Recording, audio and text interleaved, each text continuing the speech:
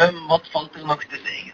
Vandaag gaan we winst, winst en winst. We willen die fucking drie punten. Want we willen eerste staan. En als we eerste staan, zijn we beter dan de tweede. Punt. Veel succes jongens.